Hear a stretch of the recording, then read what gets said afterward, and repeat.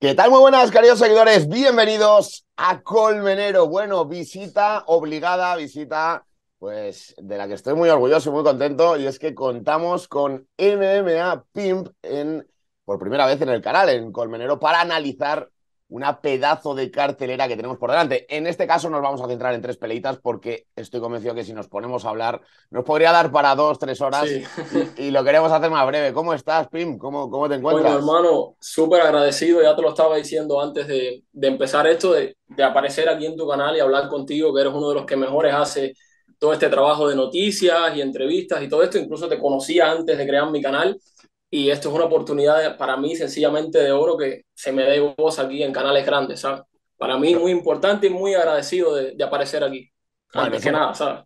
Es un placer, es un placer, desde luego que te lo estás currando mucho, eres muy buen analista y además se nota, lo comentábamos también fuera de cámara, se nota cuando se hace algo por pasión desde el lado del, del fanático, pero además con, con mucha propiedad, o sea, hablando con rigor y, y la verdad que para mí es un orgullo, es un honor, chicos. Ya os anticipo que, la charla va a estar bien, así que suscribíos a este canal y suscribiros también a MMA Pimp, el canal de Víctor. Bueno, vamos a ir con esta cartelera que tenemos. Perth, Australia, UFC 284. Habría que hablar muchas cosas, pero como digo, nos vamos a centrar en tres peleitas. Obviamente, las dos titulares y la siguiente o la que le precede, que también me parece que hay que hablar siempre de Jack de la Madalena que me parece un luchador, lo llevo comentando desde hace mucho tiempo, un luchador temible, un luchador muy potente, con un récord de 3-0 en UFC, invicto, y que quitando sus dos primeros combates que tuvo como profesional, el resto los ha ganado todos, y es que además finalizando, finalizando, ¿eh? Vaya, vaya luchador, ¿eh?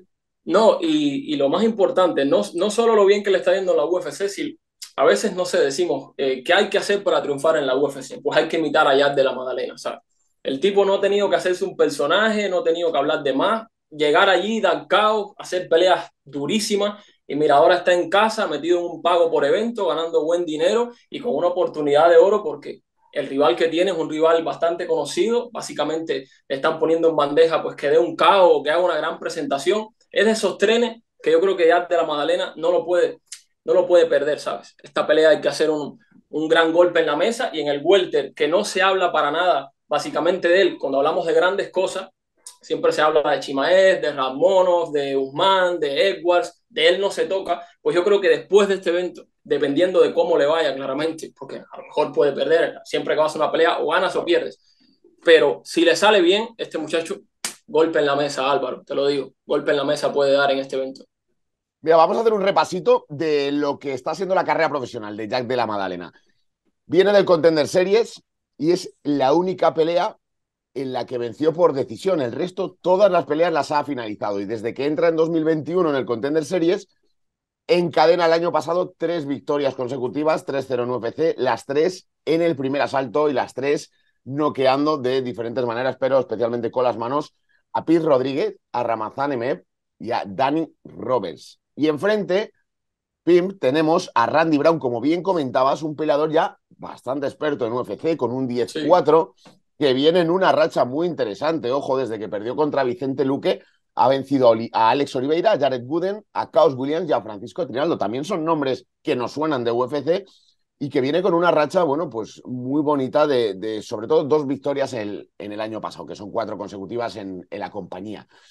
En el aspecto técnico, ¿tú cómo, cómo lo ves? ¿Qué, ¿Qué podríamos decir de este duelo, Pimp? Yo te digo, a ver, es un choque de dos estilos diferentes, porque Randy Brown, tú sabes que siempre sus bases son la movilidad, estar jugando, moviéndose bastante rápido, incluso cuando la cortan distancia, él tiene manos largas y puede trabar en el clean y puede conseguir derribo, incluso algunas peleas ha derribado, es un rival flaco, pero también sabe derribar, ha conseguido como 7 8 takedowns en la UFC, sí que es normal que pueda parar ese bolseo de Madalena, pues metiéndose en el clean, llevándolo a la reja, metiendo tiempo allí y trabajar algo y, llevarlo al suelo, que creo que es lo que podría intentar aquí en esos minutos donde los cuerpos están secos, pues derribarlo y por qué no someterlo. Estamos hablando de que ha ganado también peleas por sometimiento, pero eso, un rival que se mueve mucho, que hasta ahora le ha salido muy bien esa circulación y usar las distancias y grapar cuando se le acercan contra un Madalena que tiene un boxeo que lo más lejos que puedas estar de él es buena noticia porque si te traba en el cuerpo a cuerpo, como las manos que está pegando Ilia, te trabaja por todo el cuerpo, te mete abajo, arriba Y esos son golpes que te los tragas sí o sí, Álvaro. Te los tragas, es que no hay otra. Estoy muy de acuerdo, es, es que es tremendamente agresivo Madalena, ¿eh? ya, ya tiene que estar moviéndose y moviéndose y circulando Randy Brown y buscando el timing perfecto para cuando entre Madalena, él contrarrestar con un, con un derribo aprovechando la inercia. Es, un, un, toro, aquí que en España gustan tanto los toros, es un toro que es Madalena contra un torero que va a ser Randy Brown. Va a tener aquí que torear fuerte. Y yo te digo, para mí las soluciones pasan por el primer asalto en seco, derribar, ¿por qué no lo puede hacer? Y someterlo. Si ya no puede someter a Madalena, esto se va a poner cuesta arriba y ya él que lo han tumbado con golpes, esto es que huele a caos, ¿sabes? Huele a un caos, huele a un caos. y mira que a mí no me gusta, mira que a mí no me gusta, pues, arrimarme a decir, mira, va, va a ganar por caos, pero pinta muy feo, pinta muy feo. Estoy muy de acuerdo, es que es muy agresivo, es muy preciso, es muy violento, tiene mucho ritmo de golpeo, yo creo que sí. Y estaba viendo el récord Randy Brown, tiene derrotas, pero claro, contra peleadores muy duros, ¿eh? O sea, es que realmente perdió contra Belal Muhammad, contra Nico Price y contra Vicente Luque. Y luego también, así como curiosidad, bueno, pues venció a, Perry Montaño, aquel que ganó la, eh, la final del TUFA a Enrique Marín ¿La final, la semifinal? Ahora no recuerdo bien la final, creo. Sí, sí, es que, es que a ver, el tipo, por experiencia de combate, es que es un peleador más testeado, Randy Brown, ahora mismo. Pero eso, los nombres que has puesto en la mesa, Vicente Luque, pegador nato, tipo que te sale del clean y te baja unas manos que te vas para el piso. Chaos William, que fue otra pelea que él gana, pero esa pelea fue muy cerrada. Chaos William lo impactó varias veces y hizo que la pelea fuera apretada, solo consiguiendo derribos con golpes, ¿sabes? Que creo que solo contaron uno, pero también lo tumbó otra vez. Eh, varias veces lo, lo hirió con golpes a Randy Brown. La clave puede estar por ahí, de que si se lleva uno seco, se le puede ir todo el game plan de pelea, ¿sabes? A Randy Brown. Sin duda, la UFC también confía mucho en Madalena porque le están poniendo un luchador muy experto que le puede hacer escalar y que obviamente también tiene todas las herramientas para poderle frenar ese ascenso que está teniendo de la Madalena. Pero claro, si vence este combate, a priori será su cuarta pelea de contrato, todo nos indica que sería la última y a partir de ahí ya va a poder empezar a negociar contratos más grandes y acercándose al top 15, es decir, la UFC también sabe el pelador que tiene en Madalena, claro. Sí, sí, sí. Yo, yo a él me acuerdo que yo hice un vídeo de él cuando fue a debutar en la UFC y le puse el vampiro de Per, ¿sabes? De Per, este lugar en Australia.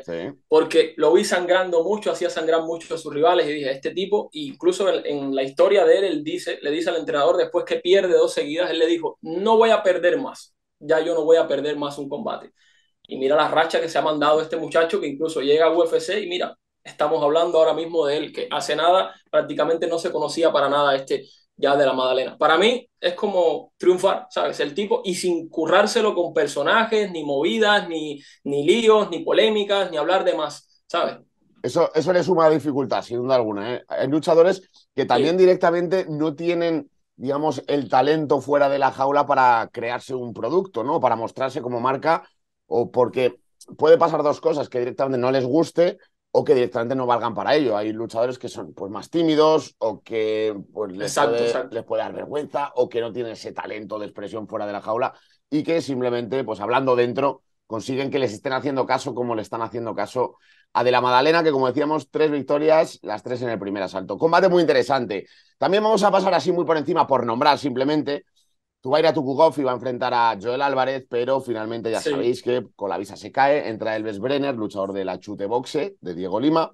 Luego tenemos así alguna peleita interesante también, aunque es verdad que para ser un gran numerado y viajar hasta Australia tampoco le han metido nombres o renombres más allá de las dos estelares. Menos mal que dices eso, porque es que yo opinaba lo mismo. Hay como 10 australianos, 10 o 9 australianos por ahí, pero hay muchos nombres ahí que, algunos incluso, hay por ahí un australiano, Shane Rose, me parece que es, Shannon Rose este, que perdió en el contender y le están dando como una oportunidad. Eh, Bukauskas, que, que fue el que se lesionó, ¿sabes? Que terminó en el Case Warrior y todo esto lo metieron ahora con Tyson Pedro, ¿sabes? Hay peleas buenas, que los, que los que seguimos esto los conocemos, pero para mucha gente que no está 100% viendo contenido, ah, va a haber con nombres aquí que no los vas a conocer, ¿sabes? No, hay mucho reclamo, estoy de acuerdo. Lo podrían haber promocionado de otra manera. También el otro día discutíamos en Eurosport el hecho de que no se haya promocionado, promocionado tanto este evento numerado.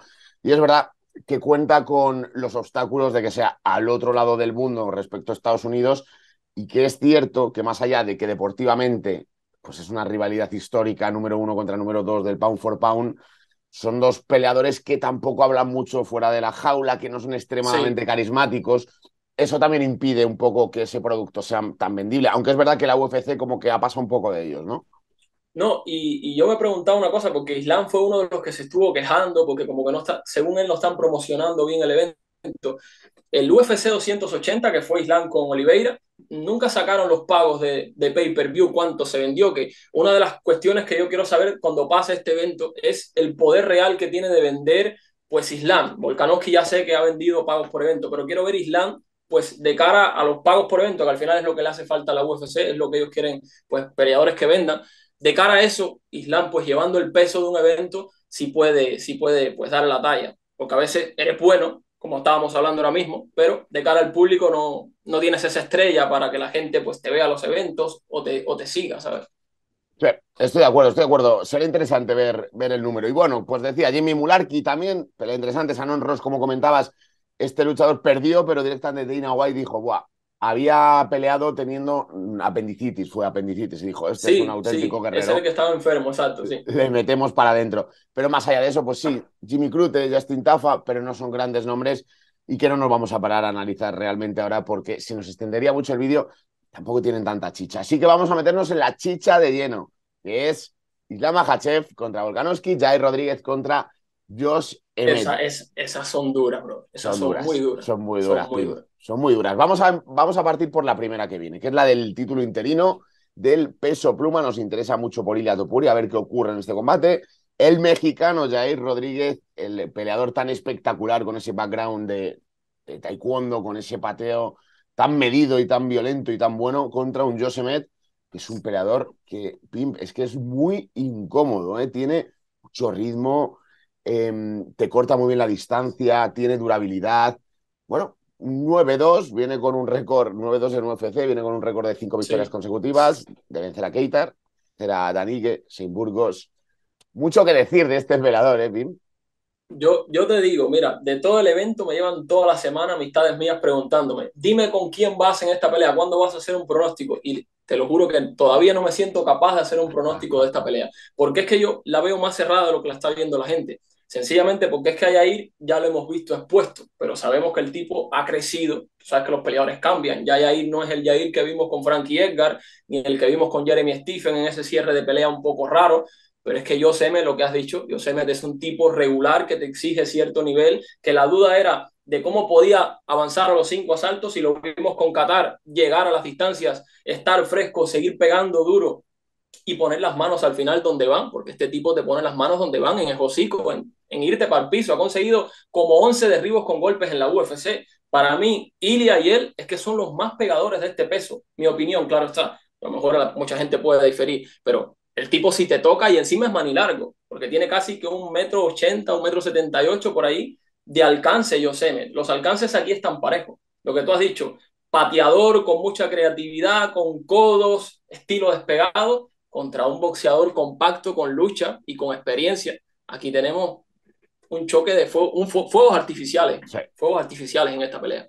Estoy súper de acuerdo, son choque de estilos, ortodoxo contra nada ortodoxo, eh, peleador creativo, espectacular, poco predecible contra un Josemet que además hay muchas veces que hay que valorar también lo que está ocurriendo más allá del el combate y es que es la oportunidad de su vida a los 37 años. Josemet, aunque se le ve muy en forma, digamos que está en la recta final, lo único que vaya a recta final, ya le gustaría a todo el mundo, pero 37 años, división del peso pluma, tampoco es que le vayan a quedar muchos más años, al menos en, esos, en esas posiciones, en el ranking, en el top 5 y peleando por título. Con lo cual, importante también la racha en la que viene, importante el momento en el que le llega de madurez, pero también de último tren para agarrarme al cinturón, porque si gana, obviamente se va a tener que unificar contra el campeón, que también habrá que ver qué pasa en la siguiente pelea que analizaremos pero el efecto también de oportunidad, el sentido de última oportunidad, le puede pesar a Yosemite también, tanto a favor como en contra, depende cómo gestione las emociones, ¿no?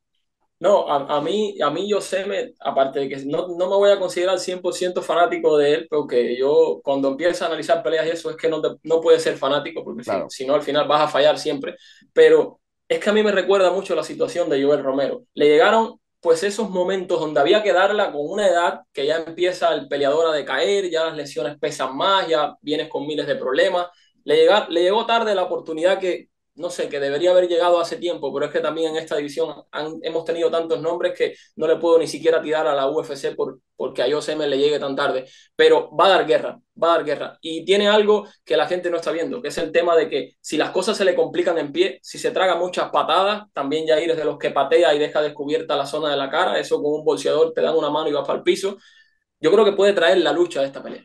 Creo que a lo mejor se cansa, porque con esa carrocería se puede cansar con la lucha, pero puede ser el peleador que diga, esto no, esto no va a permanecer en pie, nos vamos para abajo, vamos a jugárnoslas con gran ampán, con estrategia de controlar en el suelo, y Jair es alguien que es derribable. Es lo que puede cambiar el curso de esta pelea y arruinárnosla de que sea pues una pelea entretenida, striking y todo esto. Que yo se me venga con game plan, que venga con las cosas masticadas, ¿sabes?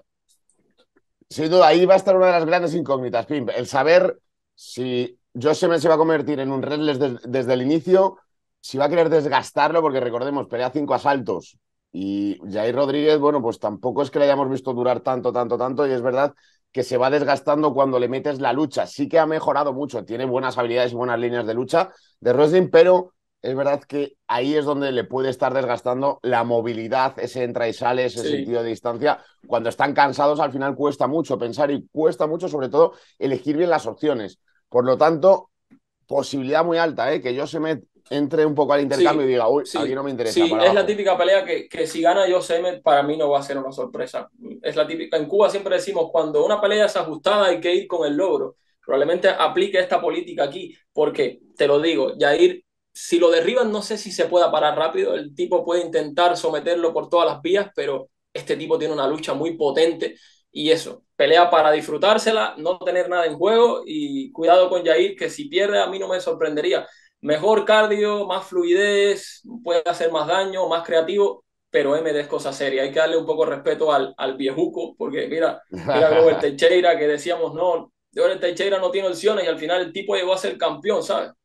llegó a ser campeón con esa edad y se pegó con todos estos jóvenes y estuvo a la altura de las circunstancias. para mí Teixeira se fue por la puerta grande, ¿sabes?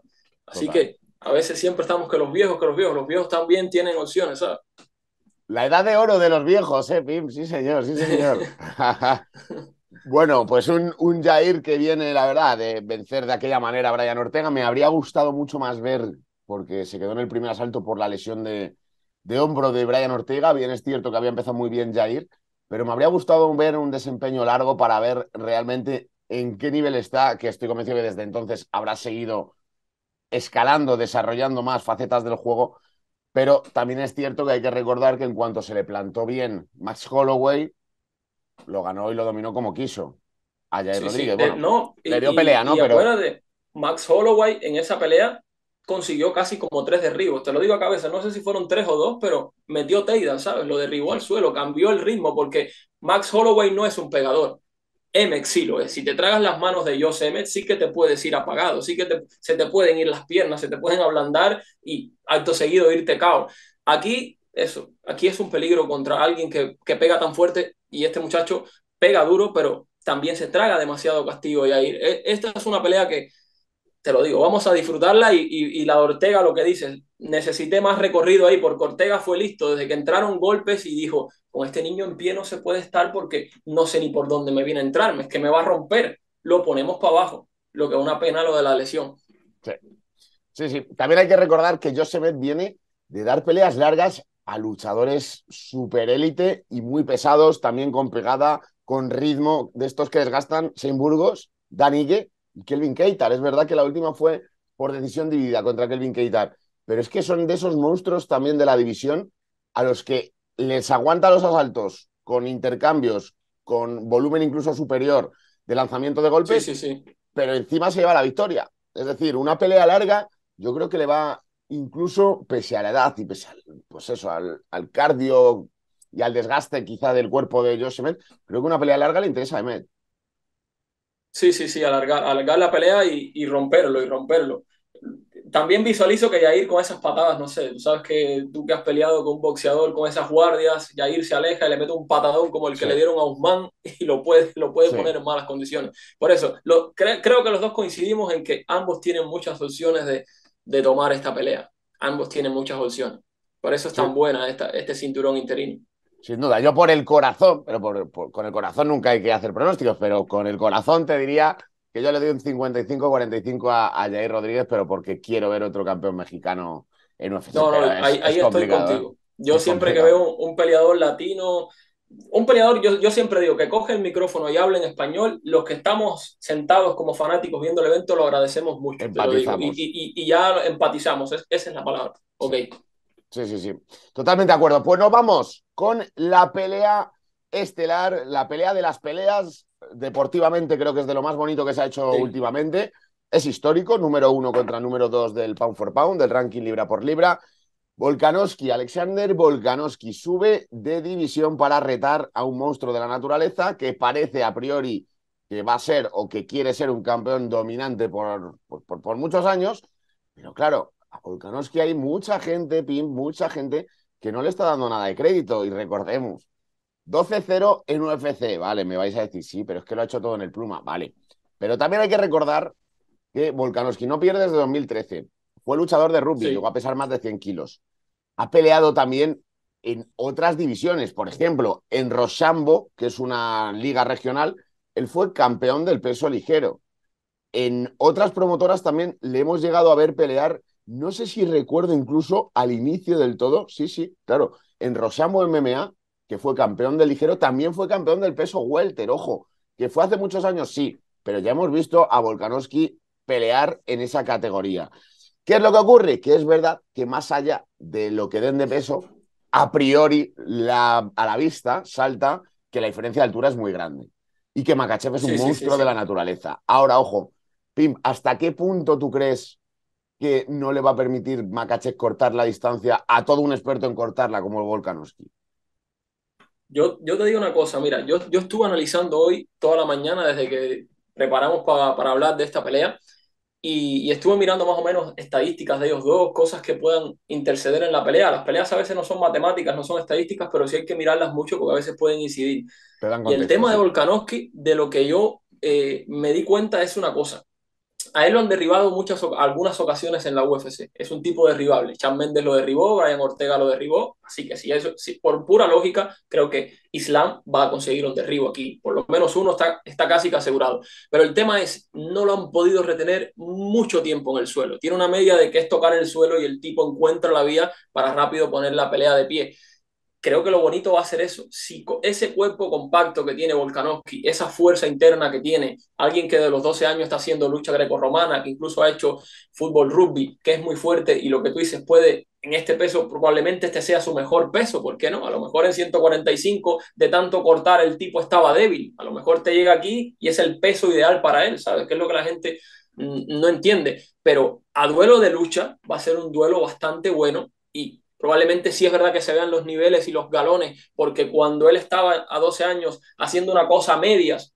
ya el otro nació viendo a gente derribarse, a gente pelear, nació metido en ese mundo de, los deportes de contacto como es, como es Islam. Pero yo lo que me vino a la cabeza, Álvaro, fue, eh, para no alargarlo más, eh, el, la película esta de Troya, hay una parte que Aquiles se va a ir como el caballo y llega un niño y le dice, ese hombre, con, ese guerrero con el que tú vas a pelear, yo no lo haría ni loco. Y le dijo, por eso nunca vas a ser recordado. Yo creo que Volkanovski ha tomado esto de esa manera. Es un reto tremendo, pero está a las puertas de la inmortalidad si lo logra. Si viene y se carga a Islam, es que aquí no va a haber conversación de que es el número uno. Aquí vamos a estar hablando de esto por largo y tendido. Por largo y tendido, que es lo, lo bueno que tiene a su favor Volkanovski. Es un punto muy interesante. Muchísimo que ganar y poco que perder. Ya ha limpiado la división. Y mira qué raro que, así porque sí, a un peleador, por muy campeón que seas, si no eres multi eh, de venta, si no eres un multiventa como Conor McGregor, por poner ese término, es muy complicado que Dana White o que la UFC te haga caso y te digan, venga, sí, sí, te pongo otro cinturón. No. Pero como limpió de esa manera tan bruta la división, recordemos, Chad Méndez, José Aldo, Brian Ortega, eh, Max Holloway en tres ocasiones. Claro, es que ya puso el listón, el Corean Zombie, con la paliza que le dio, puso el listón tan, tan, tan alto que dijo, ahora sí, mm, creo que poco más tienes en el pluma, más allá de que ahora sí que están creciendo Arnold Allen e Ilia Topuria, que son dos que están acechando realmente el, el, reinado del monarca Volkanovski, pero es verdad que tiene tan poco que perder y tantísimo que ganar. Imagínate una victoria que no lo veo tan descabellado contra Mahachev. Es verdad que en la lucha creo que no va a haber Mm, debate en el sentido de que es superior la de Islam Mahachev, que puede, aún así, en un scramble, en un movimiento. Hemos visto algunos vídeos de Volkanovski entrenando contra bichos, contra gente grande como Islam Mahachev, y les dominan, les acaba tomando la espalda, se los lleva al suelo. Pero lo lógico es que Mahachev se imponga en la lucha. Pero ahora, ojo, como le dé el chance de entrar como entró con Charles Oliveira en el intercambio, ese, esa explosividad yo creo que es bastante más explosivo Volkanovski que Islam Mahachev. Y esa capacidad de entrar y salir de papa y salgo, papa y salgo y metiendo, Alguna, metiendo alguna mano volada, le puede tocar. Y ya lo hemos visto caer a Bajachev hace años, sí, pero ya lo hemos visto caer. Sí, no, y, y lo que yo había, otra estadística que había mirado también, que, a ver, Islam cuando lo noquean, que es un recuerdo que a la gente se le ha quedado mucho, pero también a Volkanovski también, incluso en la UFC Chan lo tumbó con golpes y también lo finalizaron con golpes, pero centrémonos en Islam. Desde ese punto de caer lo noquean, esa pelea que jamás se le va a olvidar y que mucha gente la tiene en la cabeza, pues desde ese momento el tipo está siendo muy limpio en el tema de las guardias. Si te vas, es uno de los peleadores que menos golpe absorbe de todas las 155 libras. Por eso cuando fue a pelear con Charles Oliveira, todo el mundo decía, en pie Oliveira lo barre, se lo come vivo. Y yo decía, ¿cómo se va a comer vivo a un tipo que no se traga golpes, que las peleas las lleva súper rápido al suelo sin llevarse un golpe, que las guardias y el circulamiento de Sambo está funcionando perfecto, ¿sabes? A lo mejor lo ves y tú dices, no hay un striking, no me gusta cómo se mueve, no es bonito para el espectador, pero va y funciona. La circulación de él es muy buena. Y otra cosa que, que tiene Volkanovski que es lo que va a ser bonito en esta pelea, que al moverse tanto, entrar y salir y estar todo el rato circulando,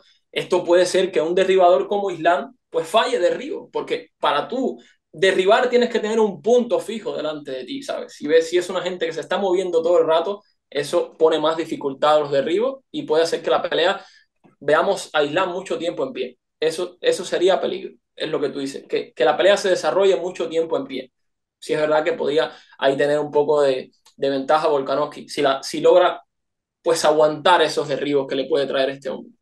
Esa es una de las incógnitas. Si de verdad se cree tan superior Islam que vaya a plantearle un inicio de pelea de pie, porque quiera que también se vaya desgastando poco, poco a poco Volkanovski con el cardio, porque al no parar de moverse, pues poco a poco vas perdiendo energía. Pero yo sí que lo veo más diciendo, no voy a arriesgar, voy a llevármelo al suelo, voy a desgastarlo, que es verdad que luego se levanta rápido Volkanovski, pero eso desgasta muchísimo, cansa muchísimo levantarte del suelo si es que lo logras contra un, contra un pedazo de luchador como Mahachev. Y te quería hacer una pregunta, ¿crees que le resta mucho y que es una ventaja clara en este sentido para Volkanovski la ausencia de Javier Nurmagomedov en la esquina de Mahachev?